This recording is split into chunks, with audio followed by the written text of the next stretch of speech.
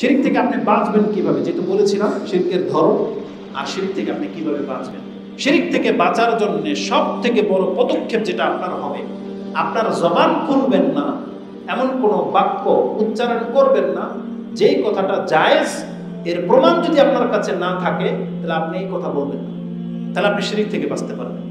মানে কোন সময় কি বলতে হয়, বিপদে পড়লে, কখন কোন বাক্য উচ্চারণ করতে হয়, এ সম্পর্কে আপনাকে জ্ঞান হাসিল করতে হবে। যদি আপনারা জানা থাকে যে হ্যাঁ যেমন ধরেন হোঁচট খেলে, পড়ে গেলে ব্যথা পেলে, কি বলতে হয়? কি বলতে হয়? আর কিছু কি বললেন? বিসমিল্লাহ একজন বলেছে বিসমিল্লাহ বলতে হয়, আরেকজন বলেছে ইন্নানিল্লাহ বলতে হয়। তার মানে অধিকাংশদের ইন্নানিল্লাহর পাল্লা ভারী। এটা ভুল শিক্ষা। পড়ে গেলে, যখন স্লিপ করলেন, পড়ে গেল, হাতে থেকে মোবাইলটা পড়ে গেল, কি বলবেন? বিসমিল্লাহ। এটা হচ্ছে আদব। পড়ে গিয়ে ভেঙে গেছে, কোমর ভেঙে গেছে, হাড্ডি বা কোনো একটা কিছু ঘটনা ঘটে গেছে রেজাল্ট শেষ। তখন ইন্নানিল্লাহি রাজিউন। ওটা ঘটনা রেজাল্টের বাচ্চা মরে গেছে। মরে গেছে, তখন কি বলবেন ইন্নানিল্লাহ ওটা রেজাল্ট হয়ে গেছে ফাইনাল পরে গিয়ে কোমর ভেঙে গেছে। তখন ইন্নানিল্লাহি ওয়া ইন্না ইলাইহি রাজিউন। এটা হচ্ছে সান্ত্বনা নেওয়া। যে যাক, আমরা সবাই আল্লাহর জন্য আল্লাহর কাছে ফিরে যেতে হবে। হাই হতাশ না করা। কিন্তু যখন পড়ে গেলেন, তখন কি বলবেন ওই ওই সময় বলবেন বিসমিল্লাহ। ফেরাউনের একটা ঘটনা আছে যে হাতে থেকে চিরুনি পড়ে যাওয়ার পরে সে বলছিল বিসমিল্লাহ। আর যার ফলে ধরা পড়ে গেছে সে তো মুসলিম। তাহলে ওখান থেকে আসছে কথাটা, তো যে কোনো সময় বাচ্চা পড়ে যাচ্ছে, ঘর থেকে হাত, হাতে থেকে থালা, বাটি, কাঁসা, যা কিছু পড়ে যাক, আপনি পড়ে যাচ্ছেন, কাউকে পড়তে দেখতেছেন, আজকে মুসলিম সমাজ ধ্বংস হয়ে গেছে। তারা মানুষের পড়ে যাওয়াকে টল করে। ভিডিও ক্লিপ বানিয়ে, টিকটক বানায়। হাসাহাসি করে। একটা ব্যক্তি সাইকেল নিয়ে গাড়ি পড়ে গেছে, একটা ট্রাক পড়ে গেছে, একজন মুরব্বী ব্যাগ নিয়ে পড়ে গেছে, আপনি খিলখিল করে হাসনার ভিডিও করেন, এটা টিকটকের জিনিস। মুসলিম সমাজকে ধ্বংস করে দেওয়া হয়েছে। আর এই পড়ে যাওয়া মুরব্বীটা যদি আপনার দাদা হতো, আপনার বাপ হতো, আপনি এখানে বসে বসে হারে হাই এসে তামসা দেখতেন। একটা মহিলা মানুষ বোঝা নিয়ে পড়ে গেছে, আপনি হাসতেছেন, তামসা দেখতেছেন, আপনার মা যদি হতো, আপনি হাসতেন এখানে দাঁড়িয়ে ভিডিও করতেন আপনার মাকে। তাহলে মুসলিমদেরকে ধ্বংসের দিকে ছেড়ে দেওয়া হয়েছে। বিপদে পড়লে বিসমিল্লাহ বলতে হবে। একটা মুরব্বী বাচ্চা যে কেউ পড়ে যাবে সাথে সাথে বলেন বিসমিল্লাহ। ইনশাল্লাহ সে বড় ধরনের ক্ষতি থেকে বেঁচে যাবে। এটা হচ্ছে আদব। তা আমি যেটা বলতে চাচ্ছি, আমাদের জবান ইসলামিক বানাতে হবে। যেই জুমলা বলা, যেমন আমার বাচ্চাটা লক্ষ্মী, এটা জায়েজ না না জায়েজ? না জায়েজ কথা। কারণ লক্ষ্মী, এটা হচ্ছে হিন্দুদের দেবী, ওখান থেকে আসছে কথা।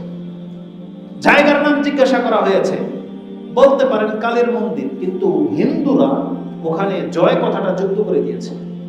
আপনি তো জয় গান গাচ্ছেন কার? কালীর জয় গান জয় কালী করবেন আপনি। কেন কালীর মন্দির বলেন? হয়ে গেল। জয় কালীর মন্দির মানে তো মুসলমানরা জান না তার ধর্ম। কি, কখন কি বলতে হবে? না নাম শব্দকে শব্দ চয়নকে আপনি ইসলামীকরণ করতে হবে। যেটাতে আল্লাহর তাওহিদ আছে সেটা। উহুদের যুদ্ধে যখন মুসলিমরা ক্ষয়ক্ষতি হলেন আবু সুফিয়ান ওদিক থেকে নিদা দিয়ে বলল, লানাল উজ্জা, ওয়ালা, লানাল উজ্জাই বলেছিল, উজ্জা, ওয়ালা উজ্জা লাকুম, এরকম কিছু। যে আমাদের ইজ্জত দেওয়ার মতো অনুজ্জা আছে, তোমাদের কিছু নাই। রাস্তা উমর বলতেছে অসুস্থ, তিনি তো মুমূর্ষ অবস্থা বলছে জবাব দাও তার কথা। বলছে, বিমা ইউজিব ইয়া রাসূলুল্লাহ। তাকে তার কথা কি জবাব দেব? বলো, লানাল আমাদের মাওলা আছে, তোমাদের কোনো মাওলা নেই। তাহলে মুসলিমদের মাওলা আমাদের মাওলা কে? লানাল মাওলা, আমাদের মাওলা আছে। তাহলে আমাদের মাওলানা কে? আল্লাহ। এই শব্দগুলো প্রয়োগ করার চেষ্টা আমাদের মাওলা হচ্ছেন আল্লাহ তো এইভাবে মুসলিমদেরকে ইসলাম শিক্ষা দেওয়া হয়েছে। এই জন্য জবানকে শিরিক করা থেকে বেঁচে থাকেন। কথা অনেক লম্বা হয়ে যাচ্ছে। শিরকের থেকে আপনি কীভাবে বাঁচবেন বললাম? যেই সম্পর্কে আপনার জ্ঞান নাই, সেই শব্দ আপনি উচ্চারণ করবেন না।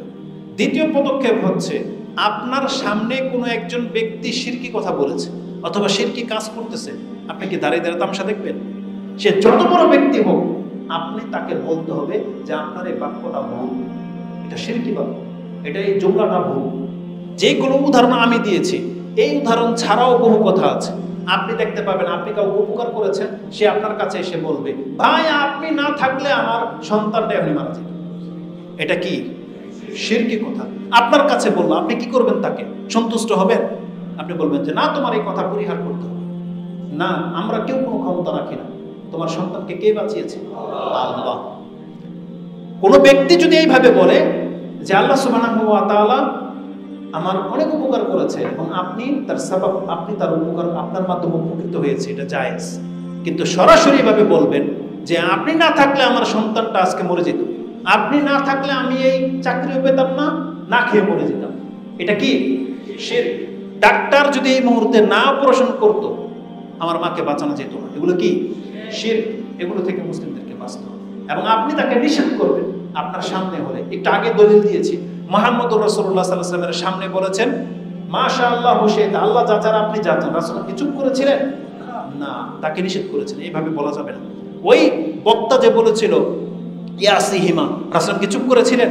না, তাকে সঠিকটা শিক্ষা দিয়েছেন তাহলে আপনিও সঠিকটা শিখেন এবং সঠিকটা শিখাবেন। কোন রকমের জন্য আপনার সামনে কেউ শিরকে উচ্চারণ করতে না পারে।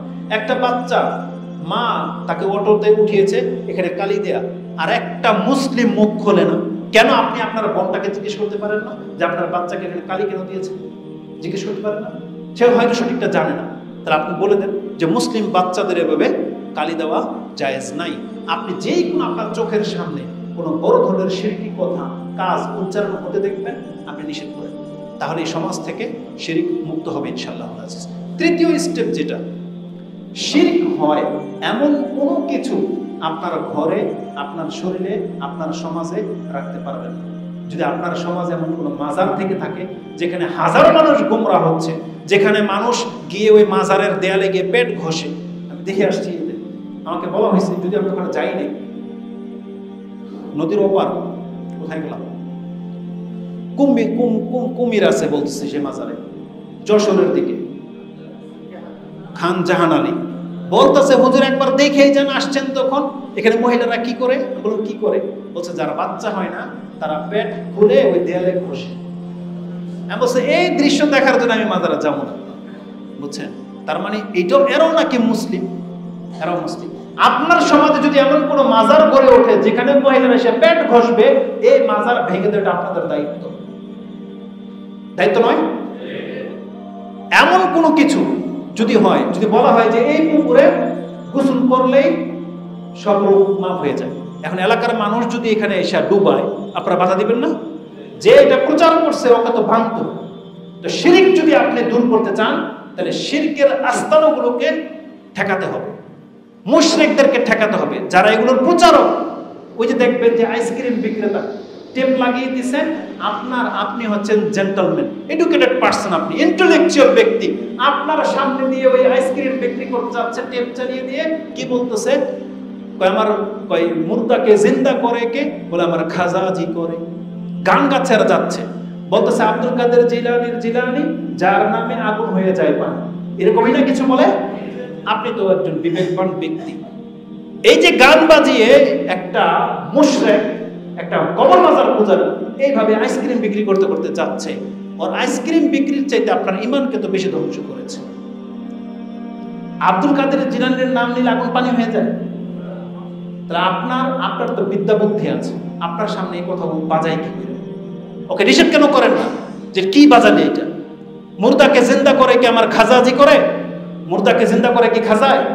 তাহলে আপনি যে কথা শুনে বসে আছেন, আপনি তো তার বাধা দিলেন। তাহলে আমাদের সমাজের মধ্যে যারা শিরিকের প্রচার প্রসার করে, তাদেরকে ঠেকাতে হবে। তাইলে আপনি শিরিক মুক্ত এলাকা পাবেন। দ্বিতীয়ত কি? যে কথাটা বলতেছিলাম। আলী আদি বিন হাতেম, তিনি বলতেছেন, আতাইতুন নবী আলাইহি সাল্লাম, ওয়া ফি উনুকি সালিবু মিনাজ যাহাব। আমি রাসূল সাল্লামের কাছে এসেছি, তখন আমার গলায় একটা ক্রুশ, স্বর্ণের একটা ক্রুশ ছিল। ওই যে ক্রস থাকে না? ক্রুশ ছিল। আচ্ছা এটা কি মূর্তি? রাসূল কি বলেছেন জানেন? আলী তোমার আদি তোমার এই অসান, এই পুতুল তোমার গলা থেকে সর- সরাও। রাসূলাম এটাকে কি বলেছেন? পুতুল বলেছেন, পুতুল ওয়াসান আদি তোমার গলা থেকে পুতুলটাকে সরাও। তার মানে আমি বোঝাতে চাচ্ছি, স্কুল কলেজের পোলাপানরা লাল টাকা, সুতা, একটা কিছু হাতের মধ্যে বাঁধে। এটা কিসের সাদৃশ্য? এটা হিন্দুদের সাদৃশ্য। ইস্কনরা পরে ওই যে কমলা কালারের একটা সুতা, আপনি মাজার থেকে এনে পেনে পেনে দিয়েছেন। এটা হচ্ছে পুতুল। আর আপনি পুতুল নিয়ে ঘুরতেছেন, আর আপনি বলেন, আমি মুসলিম। আপনার বাচ্চার কবরের মধ্যে কায়তন কালা সুতা বেধা, বাঁধা, ঘণ্টা লাগানো, এই সে উত্তম। আপনি কি পুতুল নিয়ে আপনি জীবনযাপন করতেছেন? অথচ আপনি বলছেন, পুতুলের পূজা করি। এগুলো হচ্ছে সব অসান রাসুসলাম আদিকে বলছেন তুমি অসান থেকে তুমি মুক্ত হও আদি। তিরমিজতে আপনি হাদিস পেয়ে যাবেন। তাহলে আপনাকে আপনার ঘর শিরিক মুক্ত করতে হবে। আপনার ঘরে এমন কোনো খেলনা থাকতে পারবে না যেগুলো জীবন্ত। মানে একেবারে মানুষের রূপের পুতুল। একবার কোনো পশুর রূপের পুতুল মাথা থাকতে পারবে না এগুলো রাখতে পারবে না। তারপর আপনার ঘরে এমন কোনো পিকচার থাকতে পারবে না, সেটা বাবার ছবি হোক, আপনার মায়ের ছবি হোক, কারও কোনো ছবি পোস্টারিং করা প্রিন্টিং করা, এটা আপনার ঘরে রাখতে পারবেন না, এটাকে মিটিয়ে দিতে হবে। রাসুল্লাহ সাল্লাহ আলী রাদিল্লাহকে একটা অঞ্চলে পাঠিয়েছিলেন। লা তাদা তিমসালান ইল্লা তামাস্তাহ তুমি এমন কোন প্রতিকৃতি, কোন ছবি রাখবে না সবগুলোকে মিটিয়ে দিবে। ওয়ালা কাবরান মুশরিফান ইল্লা সাওয়াইতাহু আর এমন কোন উঁচা, শান শওকতলা কবর যদি তোমার চোখে পড়ে, মিটিয়ে দেওয়া ছাড়া তুমি কিন্তু ফিরবা না। রাসলামকে আলী রাদুলকে পাঠিয়েছিল সব হয়তো আমাদের নাই, কিন্তু আপনার ঘরের ক্ষমতা তো আপনার কাছে আছে। আপনার সমাজের ক্ষমতা তো আপনার কাছে আছে। আপনার ঐক্যবদ্ধ হয়ে এই সমাজ থেকে এই সমস্ত শিল্পগুলোকে মিটা এগুলো হচ্ছে আপনার ক্ষমতাগত প্রয়োগ। আর আপনি ব্যক্তিগত কি করবেন? আল্লাহর কাছে দোয়া করবেন। আল্লাহ, তুমি আমাকে শিরিক থেকে বাঁচাও। একটা দোয়া আছে এই মর্মে। আপনি বলবেন আল্লাহ মাইনি আউজুবিকা উশরিকা বিকা শাইআন আলামু আল্লাহ যে শিরিকগুলো আমি জানি, আমি সেই শিরিক থেকে আশ্রয় চাচ্ছি, আমার দ্বারা যেন সেই শিরিকগুলো না হয়ে যায়। ওয়াস্তাগো ফেরুকা লিমালা আলাম আর আমি যেগুলো জানি না, ওই শিরিক যদি আমার দ্বারা হয়ে গিয়ে থাকে, আল্লাহ, আমি তার কাছ থেকে তোমার কাছে ক্ষমা চাচ্ছি। আল্লাহ, তুমি ক্ষমা করো। এটা দোয়া। আর একটা চমৎকার আমল বলে দিই। এটা এখন থেকে করবে আবু দাউদ হাদিসটা কোট করেছেন ছত্রিশ নম্বর অধ্যায়, পাঁচ হাজার পঞ্চান্ন, পঞ্চাশ পঞ্চান্ন নম্বর হাদিস। আলাইহি ওয়াসাল্লাম নওফল নামক এক সাহাবীকে বলতেছেন যে, তুমি ইকরা, কুল, ইয়া আইয়ুহাল কাফিরুন, সুম্মা নাম আলা খাতিমাতি। সূরা কাফিরুন, কুল, ইয়া আইয়ুহাল কাফিরুন, এই ছয়টা আয়াতের সূরা এটা পরে তুমি ঘুমাইবা। যখন সুরাটা শেষ হয়ে যাবে, তখন কথা বলবে, তখন ঘুমিয়ে যাইবা। কেন? যেই ব্যক্তি ঘুমের সময় বিশ্বাস সাথে বলে ঘুমায়, তাকে আল্লাহ শেখ থেকে মুক্ত করে দেবে এই যে ইমাম করেছেন? পঞ্চাশ পঞ্চান্ন। তাহলে আমাদের প্রত্যেক দিনের আমলের মধ্যে থাকবে আল্লাহর কাছে আশ্রয় চাইতে হবে, আমাদের তার জন্য শিরিক না হয়ে যায় এবং আমরা প্রতি রাতে অন্তত উলিয়া আইয়ুহাল কাফিরুন এটা আমরা পড়ব। তার মানে আমরা যেন কাফেরদের সাথে সম্পর্ক ছেদের ঘোষণা করতেছি। এই ইমান নিয়ে মরতে হবে। আর যেই সম্পর্কে আমরা জানি না ইনশাআল্লাহ আজিজ, সেই সম্পর্কে আল্লাহ ওয়া কাছে এইভাবে ক্ষমা চাইলে আল্লাহ আমাদেরকে মাফ করে দেবেন। তবে আমাদের মূল মেসেজ থাকবে, দেখেন আমাদেরকে কিন্তু শিরিককে এটা জানতেই হবে। এক, দুই বক্তব্যে যথেষ্ট হবে না। এরকমের দশটা খুদ্া লেগে যাবে। শিরিক কি জিনিস আপনাদেরকে বোঝানোর জন্য?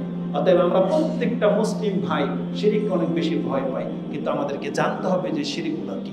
আমাদেরকে জানতে হবে। আপনি যদি উদাসীন হন, আপনি যদি বেখেয়ালি হন, আপনি যদি মনে করেন এখানে দলাদলির কোনো ব্যাপার আছে, আপনি ক্ষতিগ্রস্ত হবেন। আমাদের দায়িত্ব ছিল বলে দেওয়ার, আমরা বলে দিয়েছি। আল্লাহ আমাকে এবং এই কথাগুলোকে আমাদের মুসলিম ভাইদেরকে মেনে চলার তৌফিক দান করুন। আল্লাহ আমার কথায় যদি কোনো ভুল বা বাড়াবাড়ি হয়ে থাকে, আল্লাহ তুমি আমাকে এবং আমাদের মুসলিম ভাইদেরকে সেই কথাগুলোকে বোঝার এবং সে অনুযায়ী আমল করার তৌফিক দান করুন أقول لقولي هذا أستغفر الله لي ولكم ولسائر المسلمين فاستغفروا إنه هو الغفور الرحيم